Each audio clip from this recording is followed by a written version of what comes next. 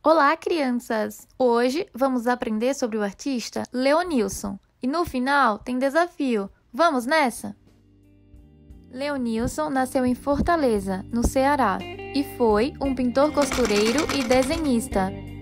Suas obras são feitas com sentimento, humor e intimidade, como se fosse um diário, escrito com desenhos, pinturas e bordados. A geografia, as figuras geométricas e os números estão presentes em sua arte. Fez inúmeras ilustrações para jornais. Vejam um coelho dentro da barriga do dinossauro. Agora é a hora do desafio.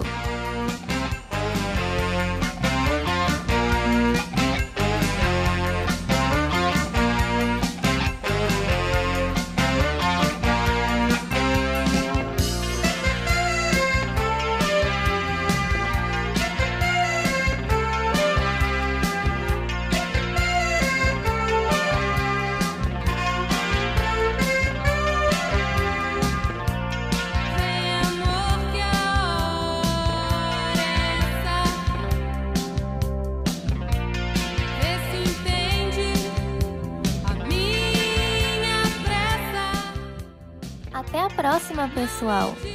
Tchau!